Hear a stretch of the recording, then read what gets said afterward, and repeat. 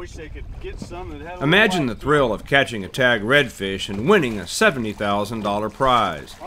Nine prize-worthy redfish were recently released in the lower Laguna Madre for the 21st annual Coastal Conservation Association State of Texas Anglers Rodeo, which runs from May 29th through September 6th. Well, the first five out of the 60 we turn loose on the Texas coast will win a Ford uh, F-150 truck, a uh, Haynie Bigfoot boat, McClain trailer, and a Mercury Optimax motor. The second five tagged reds caught by registered anglers in the CCA Star Tournament will claim a boat, motor, and trailer. It's $25 to join CCA, $20 to join the Star Tournament.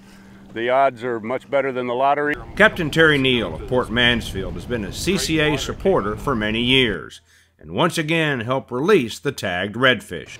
From uh, Port Mansfield all the way south to the causeway to the Brazos Santiago now. Beautiful water, lots of fish, and uh, gosh, if uh, if you don't buy your uh, tournament ticket, you're really missing out because we're putting them out here today, you know. And tomorrow you can come out and catch them and maybe win $70,000 worth of boat, motor, trailer, and truck. Proceeds from the CCA Star Tournament go towards marine conservation, including Texas fish hatcheries that help stock the state's bays. So if you're going to fish Texas and take fish out, you ought to help us put some back.